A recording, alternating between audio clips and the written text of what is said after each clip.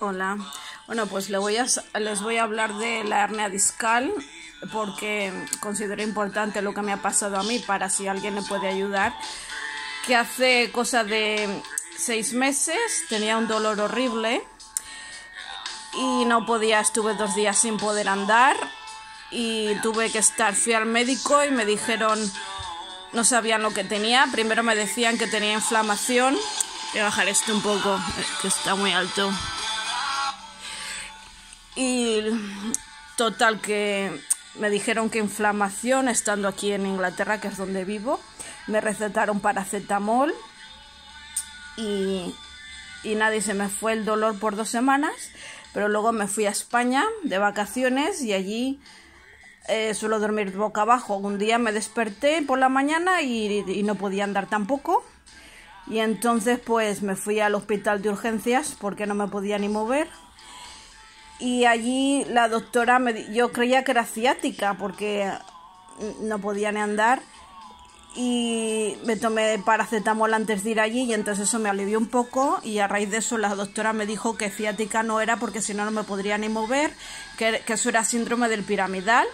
Pero para estar más segura que me iban a hacer unas placas, me hice unos rayos X y en los rayos X no sale bien lo que no, no sale bien lo que es la cosa y, y, aún así con rayos X me dijo, sí, no es síndrome del piramidal, total, que te voy a dar esta medicación, tal, y nada, estuve tomándome la medicación y no, no me funcionaba.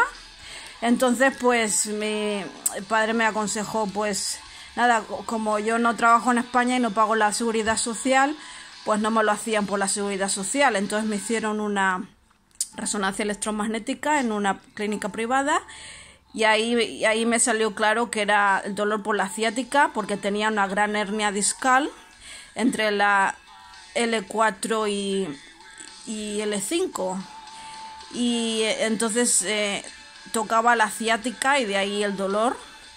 Y luego también tenía una protusión entre la, la, L5 y S1 en la espalda que eso no, eso no me duele porque es una protusión y nada, me recetaron medicación otra vez, muy parecida, porque es muy parecida tanto sea para ciática o sea para síndrome del piramidal, la medicación casi no varía. Y entonces eh, por internet, por YouTube, me dediqué a ver ejercicios que eran buenos y para esta para la hernia discal y qué formas de dormir eran buenas. Y entonces pues em, me di cuenta que también dormir boca abajo es malísimo, que tenía que dormir en posición fetal o, boca arriba y eso hice y seguí la medicación y también hice los ejercicios que decían en YouTube. Y bueno, que gracias a eso, que en cosa de un mes, pues se me pasó el dolor y ya no, ya no sentía ningún dolor, me dejé la medicación, seguí haciendo los ejercicios en mis ratos libres, pero ya podía trabajar y todo. Ya han pasado seis meses y, ya no, a veces ni hago ejercicio, solo trabajo y ya no duermo nunca más boca abajo, por si acá, porque eso no, no, es bueno. Y ya que estoy segura que aunque no me he hecho otra resonancia magnética, pues que no, que estoy segura que se me ha ido la, la hernia discal porque ya no me noto, antes me notaba un gran vacío al sentarme y ahora no me noto nada, o sea que estoy segura que que se ha absorbido, porque en un 60% de los casos las hernias discales se absorben. Creo que ese ha sido mi caso. Lo de la protusión no lo sé porque eso es algo que todavía no ha llegado a formarse hernia y, y por lo tanto no me ha causado dolor y lo mismo está ahí. También puede ser que se haya absorbido, no lo sé. En un tiempo iría a hacerme otra resonancia magnética en dos años, a ver si sigue estando ahí la protusión. Pero lo que más molesto era que era la gran hernia discal, que no podía ni sentarme ni trabajar ni hacer nada, pues que simplemente con ejercicios y durmiendo, no durmiendo boca abajo, pues que se me ha absorbido ella sola. Por eso les digo que a la operación no recurran, porque la operación es en casos ya muy graves, que ni, la medicación funcione, ni se puedan dar eh, por más de, de un mes y no se pueda trabajar, entonces hay que recurrir a la operación. Pero mientras hay que probar primero con la medicación que dicen, con ejercicios de rehabilitación y no durmiendo boca abajo nunca. Y entonces, pues muchas veces eh, haciendo eso se puede conseguir que se absorba y ya, ya no ya no hay que ni siquiera volver a tomar medicación ni nada y se puede llevar una vida perfectamente normal.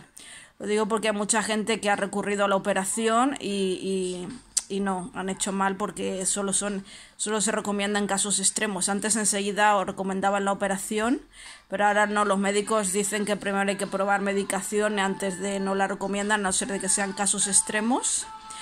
Y nada, recordar no dormir boca abajo y hacer siempre ejercicios de yoga, son buenísimos, o, o pilates, también son muy buenos. En, en YouTube, según el caso de hernia que tengan, pues eh, salen cada caso específico, eh, solo hay que hacer unos 20 minutos al día de ejercicio.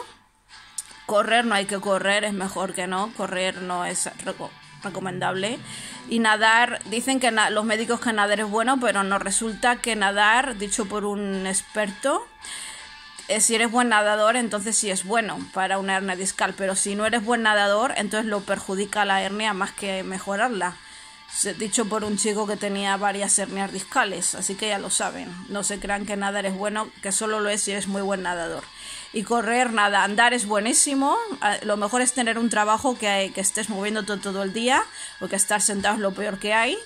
Y estar de pie parado no es tan malo, pero tampoco es bueno. Lo mejor es estar moviéndose, andando todo el día de un lado para otro, como el trabajo que tengo yo ahora, que es en, en una cocina y estoy llevando la comida a, los ancianos todo el día moviéndome y de un lado para otro y entonces eso me va de maravilla.